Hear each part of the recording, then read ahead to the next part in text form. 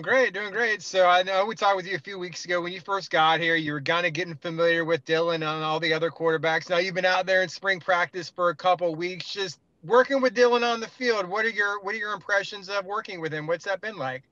Yeah, I think he's a guy. Uh, first off, his leadership qualities are off the charts. Um, he's got a great arm, um, great accuracy. Um, he moves better than you think. Uh, I think extending the plays, getting outside the pocket, throwing on the run, maybe his strength. Um, he's a real guy, and we knew that going into it. You know, watching the film, and um, but he's a real guy. Morning, Coach uh, Andrew Gluco, Black and Gold Banneret.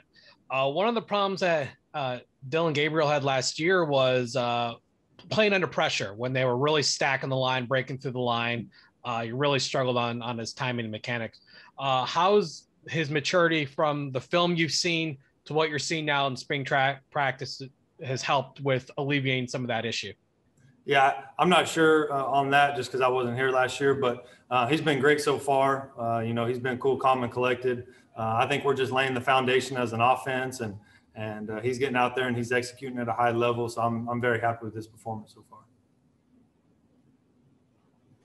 GJ, I, I, outside of Dillon, obviously you guys got to focus on finding someone to back him up. Maybe it could be a solid backup. What have you seen from some of the guy, younger guys and some of the guys like Quadry who've been around for a while? Yeah, Quadry's been uh, he's been great so far. He's great attitude every day. Um, you know, he's kind of a veteran guy in the room.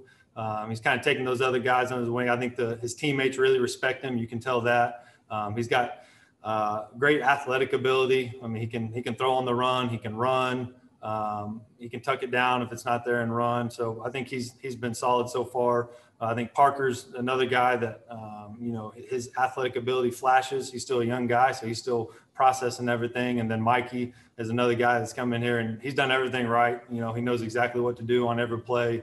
Um, he's just got to continue to, to, to get stronger and faster and continue to build his arm strength and, and all the little things. I mean, he's like 17 years old, so he, he's going to continue to get better. He should be going to like the prom or something in the next couple weeks or something. So he's good.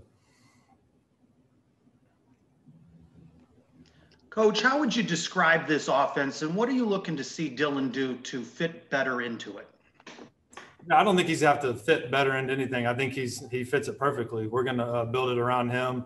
Um, we're going to be a run play action team. Uh, take care of the football. He's going to throw it 50 times a game if we need to, um, and he's going to protect the ball. And he's just going to play quarterback. That's what he's going to do. He's going to do it at a high level, and uh, and he's done that so far. GJ Jason Beatty with 24 7 Sports. You guys just had your first scrimmage on Saturday. Gus said you guys went about 97 plays. What did you think of Dillon, uh, you know, running in the scrimmage, maybe Quadry in the scrimmage? What did you think of those guys? Yeah, I think um, all of them, they were solid. I don't think anyone was uh, uh, just great. Um, still learning curve for them, learning a new system. Um, but the effort's there, the talent's there uh, we just got to continue to keep on uh, building on that foundation and continue to execute at a high level. Coach, I know you, you just got here. You're still learning about the guys, but you know, for Dillon, he's going to be a junior the this year after a couple seasons that um, had really two two good seasons, freshman and sophomore. What changes when someone is an upperclassman when they're more experienced? Maybe you can speak from personal experience for you as a quarterback. Did, did something change? Maybe just from a leadership standpoint, or yeah, I think uh, just confidence. I mean, he's gone out and he's executed at a very high level. He's won a lot of football games around here. Um, he's the guy. There's no question about that. So uh, I think it's confidence um, and, and, just the leadership ability. You know, guys listen to him. You know, sometimes when you're a young guy, you don't know can I can I speak up? Am I stepping on someone's toes? But he's he's the guy, and uh, he's got those guys. Um, going at a high level, and O line respects him, receivers respects him. When he talks, everyone listens. So um, been very, very pleased with him.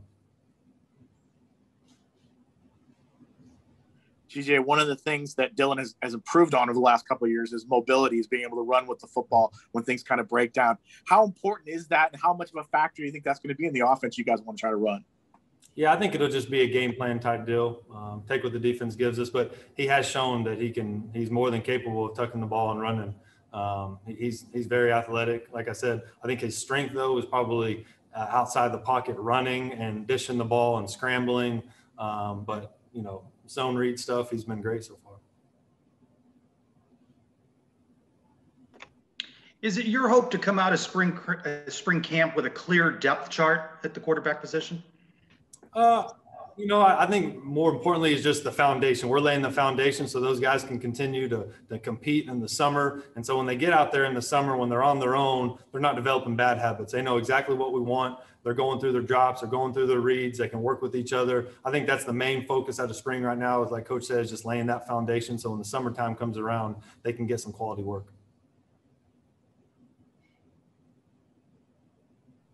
GJ, uh, Gus has said you guys haven't really touched on much of the playbook yet. It's about laying that foundation, as you've been saying. What do you think the biggest challenges when you guys do implement uh, the playbook are going to be for uh, the quarterbacks and really everybody else in the offense? Um, I'm not sure uh, challenges as far as like uh, the type of play. I think it's going to be more just the um, uh, the the amount of plays, just retaining the information, and because it is new, retaining the information and being able to go out there and execute at a high level. But so far, so good. You know, like I said, we're just building the foundation, but they've been able to retain everything and and been great. GJ, what you know, you talked about Dillon's obviously his leadership and, and, and what he's kind of taken on that role of, of of commanding the the the quarterback room. What would you like to see him do in the summertime? What what does he need to do maybe to kind of to take on a bigger role in that room? Yeah, I think just develop the chemistry with those receivers. You know, I think there are some new faces he's probably throwing to. You know, maybe guys that have been here but haven't been in that top spot. And so just continue to build that relationship with those guys. And so when we go to fall camp, those guys are, are, are really uh, uh, executing at a high level as far as their chemistry goes.